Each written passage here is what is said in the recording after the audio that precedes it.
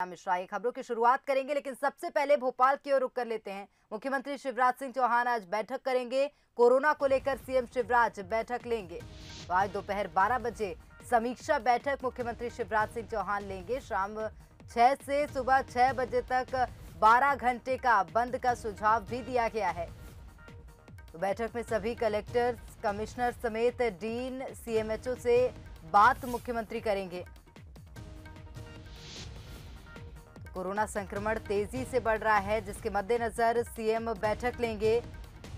आज दोपहर 12 बजे समीक्षा बैठक होगी और शाम 6 से सुबह 6 बजे तक 12 घंटे का बंद का सुझाव भी उन्हें दिया गया है।